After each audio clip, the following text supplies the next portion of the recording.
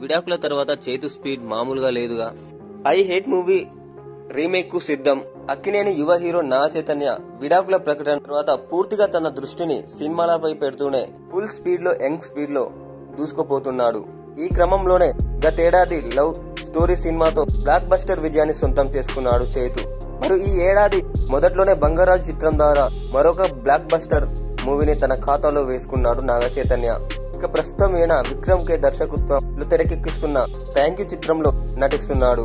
అదే విధంగా ఆయన దర్శకత్వంలోనే వెబ్ సిరీస్లో కూడా నటిస్తున్నాడు. ఇలా వరుస సినిమాలతో ఫుల్ జ్యూస్గా ఉన్న నాగ చైతన్య మరొక హిట్ మూవీకి గ్రీన్ సిగ్నల్ ఇచ్చినట్టుగా తెలుస్తుంది. ఈ క్రమంలోనే తమిళంలో శంభు నటించిన మానాడు నటించిన మంచి విజయాన్ని సొంతం చేసుకున్నాడు శంభు. ఈ క్రమం ద్వారా మానాడు చిత్రం ద్వారా ఎంతో అద్భుతమైన విజయాన్ని అందుకున్న దర్శకుడు వెంకట్ ప్రభుతో ఒక సినిమా చేయడానికి చై గ్రీన్ సిగ్నల్ ఇచ్చాడట.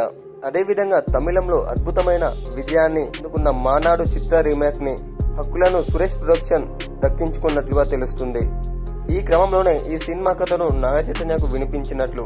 కథ నచ్చడం వల్ల ఈ సినిమాను నటించడానికి నాగ చైతన్య కూడా గ్రీన్ సిగ్నల్ ఇచ్చినట్టు తెలుస్తుంది. అయితే త్వరలోనే ఈ సినిమాకు సంబంధించిన అధికారిక ప్రకటన వచ్చే అవకాశం ఉంది.